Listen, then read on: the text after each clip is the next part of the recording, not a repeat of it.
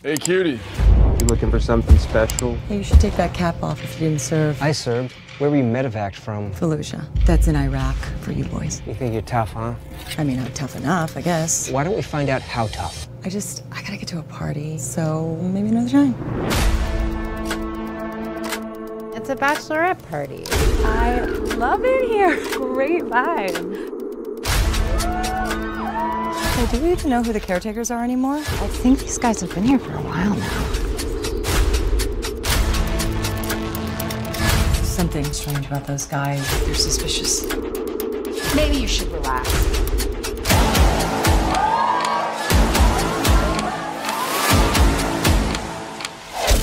Ah! Open the door! Screaming is not gonna keep us alive.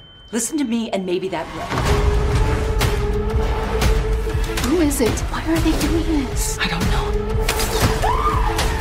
We need to get prepared. We gotta start gathering weapons. All of you, do anything to survive, and I mean anything. We have to do something drastic, and we need to do it now. You got no idea who we are, and all we want is what's inside that house. What is it? What's inside that house? I have no idea. We need to attack.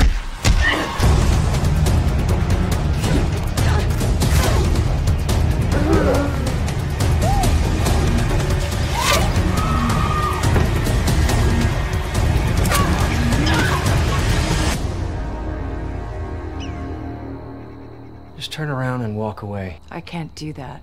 I'm gonna kill you.